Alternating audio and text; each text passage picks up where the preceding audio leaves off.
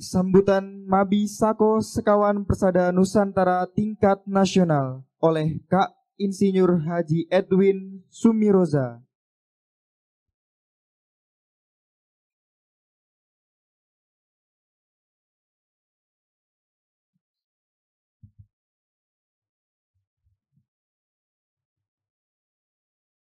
Bismillahirrahmanirrahim.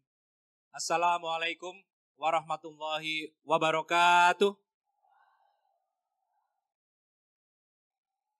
Salam Pramuka. Alhamdulillahirabbil alamin. Alhamdulillahilladzi adzabana hasan. Inna rabbana laghafurun syakur. Asyhadu an la ilaha illallah wa asyhadu anna Muhammadar Rasulullah sallallahu alaihi wasallam wa ala alihi washabih amma ba'du. Pertama-tama syukur dipanjatkan kehadirat Allah Subhanahu wa taala. Salawat serta salam semoga senantiasa tercurah untuk Nabi besar Muhammad sallallahu alaihi wasallam dan beserta para pengikutnya hingga akhir zaman. Syukur alhamdulillah belamin alhamdulillah jazakumullah Alhamdulillah jazakumullah atas kehadiran kakak-kakak yang kami hormati, yang terhormat Kak Kuarnas dalam kesempatan hari ini diwakili oleh Wakak Kuarnas Komisi Saka Sako dan Gugus Dharma, Majen Marinir Punawirawan Junior Lutfi. Selamat datang kakak. Selain salam pramuka, salam marinir, salam selam. Beliau adalah Beliau adalah anggota marinir yang saat itu pertama kali mengarungi berenang dari mengarungi Selat Sunda berenang dari Lampung sampai ke Merak.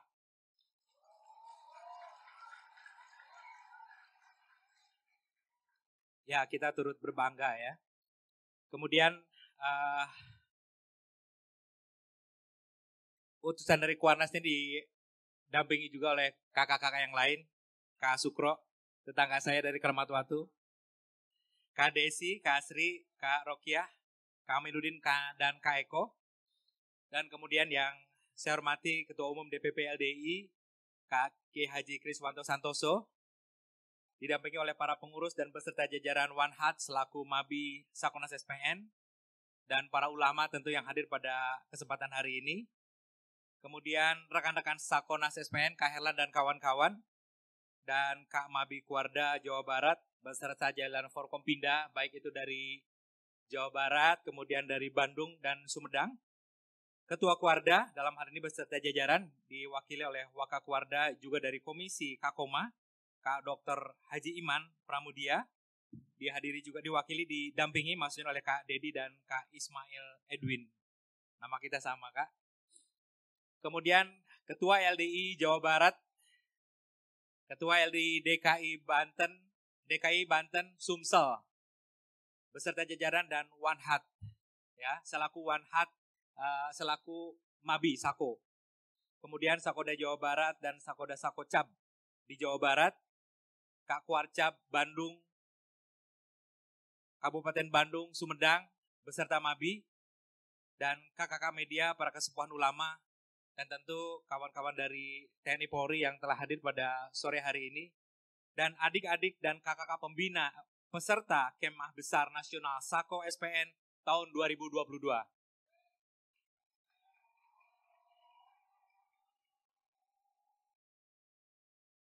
Semoga Allah memberikan manfaat dan barokah kepada kita semua. Kakak-kakak, pandemi COVID-19 ini setelah tiga tahun menerpa kita dan telah membatasi semua aktivitas tatap muka. Dan kita sebagai pembina menyadari bahwa hal ini sangat berdampak tantangan bagi para pembina yang diamanatkan oleh Kak untuk mengabdi tanpa batas untuk membangun ketangguhan bangsa. Karena walaupun pertemuan dibatasi, saat itu godaan dan gangguan kepada peserta didik kita tidak berhenti, terutama ancaman melalui online. Sako SPN pada kesempatan ini ingin melaporkan bahwa Alhamdulillah dengan bekal penguasaan sistem teknologi digital yang disampaikan pada Kembesnas tahun 2018 dilanjutkan dengan pertemuan tingkat nasional kepada para pembina di tahun 2019. Kita waktu itu mendapatkan materi tentang penguasaan teknologi digital sehingga keterbatasan saat pandemi COVID ini sedikit banyak bisa digantikan melalui keterampilan menguasai metode digital. Sehingga pertemuan-pertemuan daring waktu itu kita bisa lebih siap menyelenggarakan. Alhamdulillah penyelenggaraan pengajian makna Al-Quran dan hadis sukses diikuti saat itu lebih dari 5 juta spot seluruh dunia waktu itu.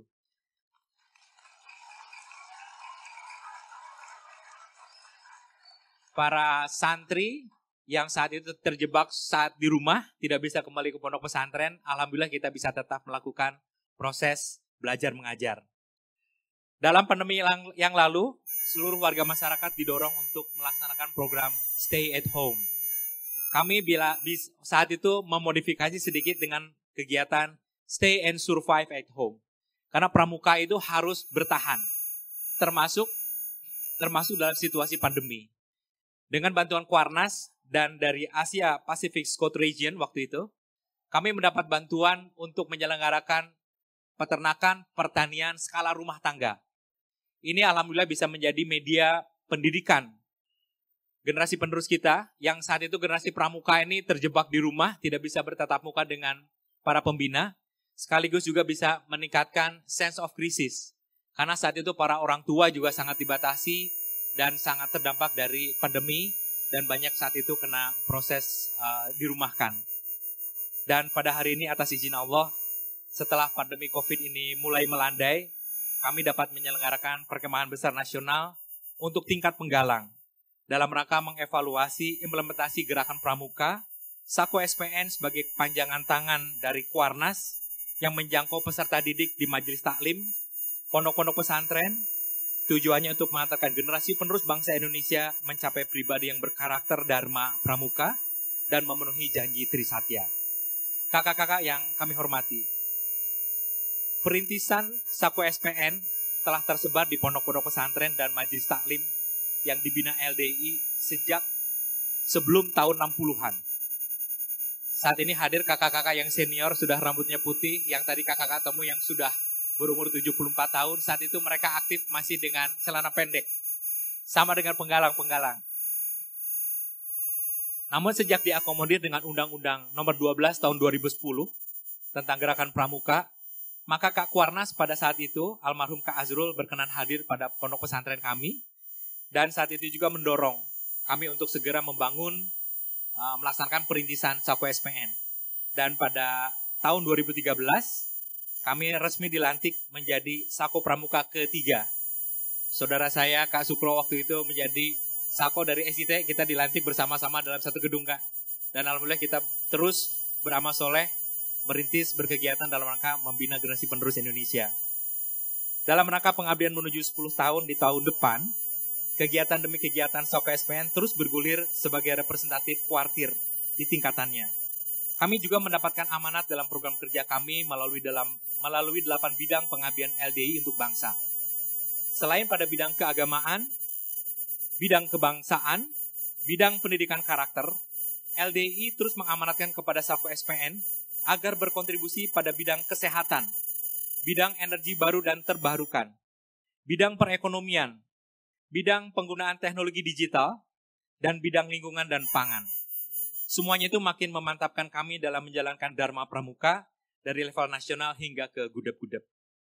Dengan latihan pada sistem kecakapan umum di lima area spiritual, emosional, sosial, intelektual, dan fisik, kami berupaya mengantarkan generasi penerus meraih tobiat luhur yang merupakan representasi dari Dharma Pramuka dalam memenuhi janji luhur Trisatya menjadi generasi yang sukses fakih alim, berakhlakul karim, dan berkepribadian yang mandiri.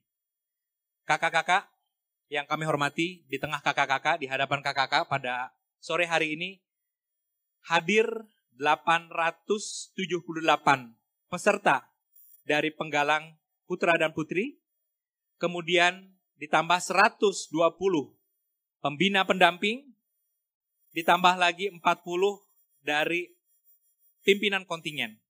Semuanya bersiap untuk beraktivitas, menjalankan latihan yang sudah dilaksanakan di Gudep di Pangkalan, kita pada tiga hari ini akan melaksanakan bagaimana latihan yang sudah kita dapat agar bisa hidup bermasyarakat. Peserta yang sudah sangat kangen ingin bertatap muka pada kesempatan ini, sungguh merupakan kebanggaan atas bantuan kakak-kakak dari Kuarnas bisa menyelenggarakan kegiatan ini, terutama dari Kuarda Jawa Barat yang menjadi tuan rumah dan beserta pendukungnya.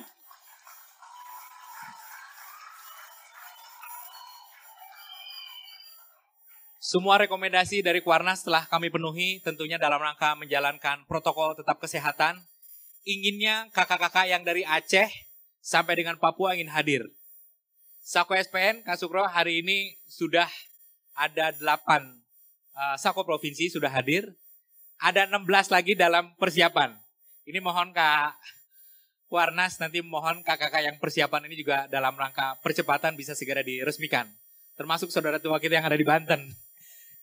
Kak Sukro ini sama-sama satu ini mohon dibantu di Banten. Dan uh, semuanya ini insya Allah uh, akan kami jaga semua uh, kegiatan ini supaya tetap berjalan sesuai dengan prosedur. Kemudian untuk kakak-kakak Jawa Barat, sekali lagi kami sampaikan apresiasi yang tinggi. Di mana kami ini kebanyakan datang dari Banten dan dari Betawi. Yang datang itu kadang-kadang panitia itu ngomongnya ceplos-ceplos apa adanya tapi dengan kolaborasi, keterbukaan. Kakak-kakak yang dari Jawa Barat semuanya bisa berkolaborasi dengan baik. Sore tadi kita bisa menyaksikan pencak silat. Kalau boleh saya terjemahkan sedikit kak tadi, mohon maaf saya nanti siap pusat kalau salah. Bahwa tadi itu kita lihat bahwa beberapa aliran ini datang ke Jawa Barat. Aliran persilatan dari berbagai daerah datang ke Jawa Barat berkomunikasi terjadi padungdung bukan padudung, padungdung. Terjadi komunikasi namun dengan keterbukaan. Jawa Barat bisa membangun harmoni, Jawa Barat yang sangat terbuka dan berkolaborasi, semuanya kegiatan dan rampak silat itu nampak baik kita nikmati. Dengan diselenggarakannya Kembesnas dan hadir kakak-kakak dari Sako SPN didukung dengan Kuarnas, kita dukung Jawa Barat ini makin sebagai tuan rumah yang sangat toleran di Indonesia.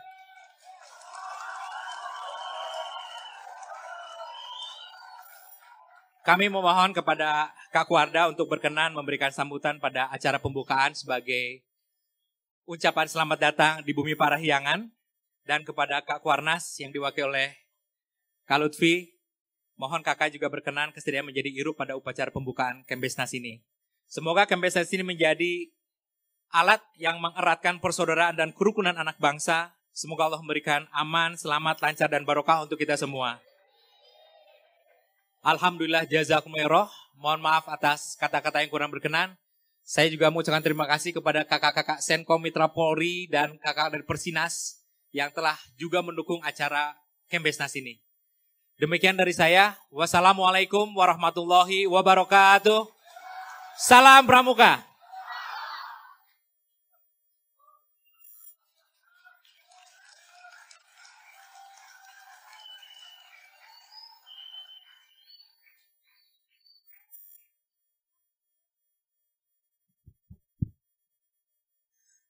Sambutan dan ucapan selamat datang dari Ketua Kuarda Jawa Barat yang disampaikan oleh Waka Komisi Kakoma, Kak Dr. Haji Imam Pramudya Subagya.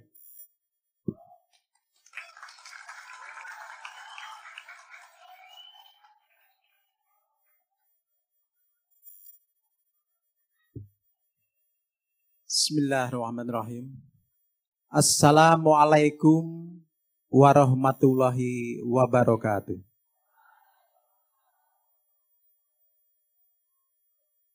Mohon maaf kalau kami di eh, Jawa Barat Sunda ini ada salam Sampurasun.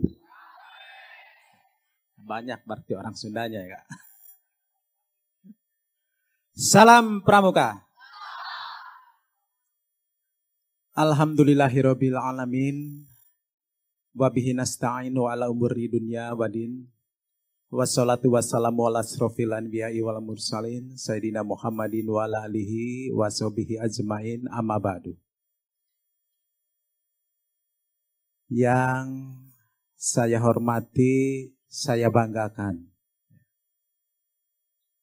Ketua Komisi Satuan Karya, Satuan Komunitas dan Gugus Dharma Kuartir Nasional Gerakan Pramuka, Kak Yuniar Lutfi. Selamat datang Kak di dan bertemu lagi dengan saya. Kebetulan pada kegiatan pelantara beberapa waktu yang lalu kita bertemu di kegiatan eh, Saka Bahari di Cirebon ya Kak ya. Beserta seluruh jajarannya. Yang kami hormati pimpinan pusat lembaga dakwah Islamiyah Indonesia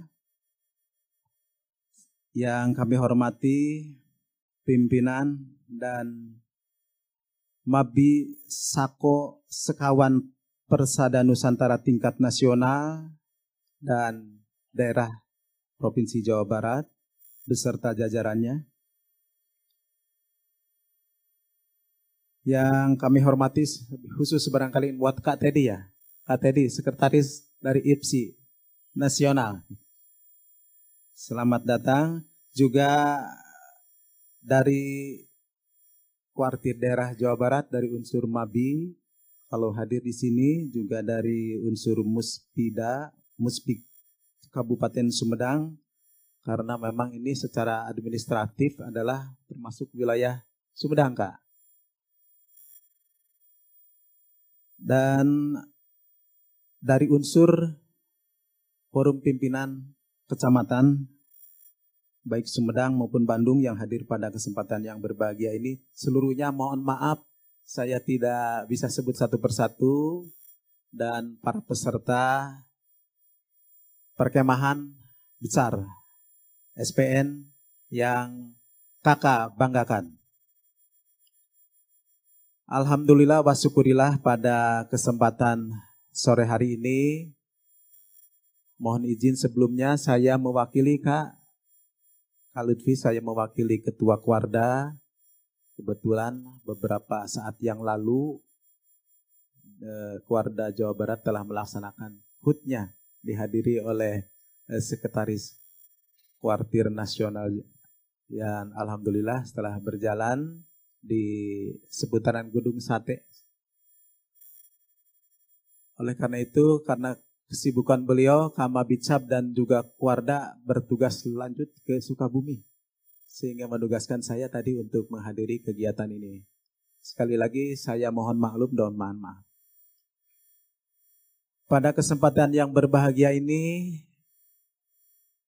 sebelumnya mungkin saya juga ingin menyampaikan kepada kakak-kakak, khususnya yang dari luar Jawa Barat. Mungkin kalau orang Jawa Barat sudah tahu terkait dengan bumi perkemahan eh, Kiara Payung ini. Dan secara administratif sudah saya sampaikan memang ini Kiara Payung ini posisinya ada secara administratif ada di desa Sindang Sari, Kecamatan Sukasari, Kabupaten Sumedang. Terkenalnya memang Jatinangor. Jatinangor betul. Ini saya berbicara secara administratif barangkali. Betul ya dari Kuarda ya. Ini memang e, wilayah wilayah Sumedang. Kurang lebih ini 66 hektar. Dan ini sudah lama berjalan.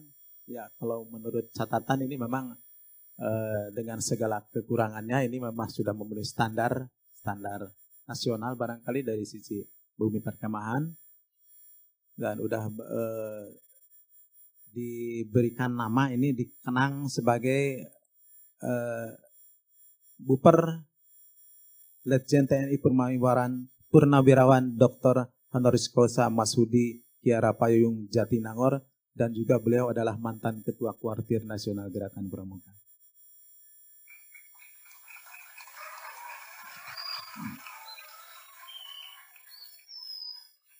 Yang pertama dan utama tentu saja saya memakai Ketua Kuartir Daerah Gerakan Pramuka Jawa Barat mengucapkan selamat datang kalau menurut orang Sunda Wilujeng Sumping di bumi perkemahan Jawa Barat ini, kebanggaan Jawa Barat ini. Yang sebelumnya memang saya sudah eh, kami dari keluarga sudah kedatangan rombongan dari eh, SPN ini, Kulonowon barangkali, Kulonowon. Eh, terkait dengan rencana pelaksanaan eh, perkemahan nasional ini. Perkemahan besar eh, SPN ini tentu saja bagi kami di kuartir daerah Jawa Barat setelah sekian lama vakum, barangkali mungkin sebuah maklum, kami juga kak kemarin diawali dari Jambore Nasional gitu ya. Kami juga baru e, bisa memberikan rekomendasi pelaksanaan perkemahan-perkemahan di e, rangkaian hari ulang tahun e, Gerakan Pramuka se-Jawa Barat. Karena kalau di kuartir-kuartir cabang biasanya ini ada kegiatan-kegiatan jambore ranting. Setelah dua tahun berturut-turut barangkali tidak ada kegiatan. Rasanya ini mungkin adalah hal yang sangat ditunggu-tunggu gitu. Respon dari eh, terutama adik-adik pramuka, penggalang dan penegak ini sangat luar biasa. Mudah-mudahan apa yang sudah kita alami dengan lamanya bertahun-tahunnya ke apa pandemi Covid-19 mudah-mudahan sudah selesai. Mudah-mudahan Kak ya. Sehingga kembali kegiatan aktivitas e, perkemahan ini bisa dilaksanakan seperti sedia kala. Dan kepada adik-adik khususnya yang baru menginjakan di bumi perkemahan Piara Payung ini, adik-adik semuanya jangan kaget barangkali wilayah di sini termasuk wilayah yang dingin kalau menurut masyarakat di sini tiris katanya tiris kak dingin gitu. Jangan kaget kalau malam sampai menggigil gitu ya. Jangan kaget. Makanya persiapkan saja. Saya yakin dan percaya adik-adik sudah uh, sudah mempersiapkan segala sesuatunya. Jangankan adek kakak sendiri sebagai orang sini juga sangat kedinginan begitu kalau malam tuh. Sampai menggigil betul itu yang terjadi. Kami juga pada saat eh, rapat kerja pernah dilaksanakan di sini kak. Sehingga juga kami pernah eh, tidur bermalam di sini sampai menggigil. Ini jangan kaget ya. Jangan kaget. Nah ini barangkali kakak eh, terkait dengan uh, buper ini dan mudah-mudahan adik-adik semua di sini akan melaksanakan kemah besar SPN nasional di bumi perkemahan uh, Tiara Payung ini. Adik-adik akan uh, dapat menikmati menikmati pemandangan-pemandangan yang mungkin di sini lebih banyak uh, pohon-pohonnya ya. Sehingga tadi kakak sampaikan memang relatif sangat dingin sangat kriterianya, tapi mudah-mudahan bagi yang sudah terbiasa eh, sudah biasa menghadapi eh, apa perasaan yang dingin ini dengan pasti pakai selimut yang tebal ya. Siap-siap adik-adik. Kami mungkin dari keluarga tidak bisa maksimal barangkali kalau mereka memberikan pelayanan adik-adik semuanya di sini khususnya kakak-kakak dari panitia di sini. Mudah-mudahan uh, selama ini kami di sini berjalan relatif aman dan sering kali kegiatan ini dilaksanakan paling sering ini justru oleh uh, kakak-kakak dari satuan karya. Rata-rata pelaksanaannya disenang di sini begitu. Saya tidak tahu kenapa begitu. Tapi yang pasti memang view dan juga uh, cuacanya ya iklimnya dingin seperti ini begitu. Ya. Oleh karena itu eh, kami mungkin dari Kuarda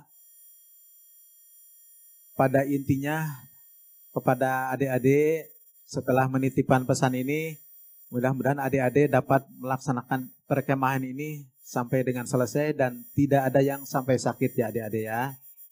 Adik-adik kepada panitia tentu saja Eh, adik-adik harus mengikuti apa yang diarahkan oleh panitia. Itu saja barangkali yang dapat kami sampaikan. Kak Lutfi yang saya hormati, saya banggakan. Kurang lebihnya mohon maaf. Di akhir billahi taufiq wal hidayah. Assalamualaikum warahmatullahi wabarakatuh. Salam Pramuka.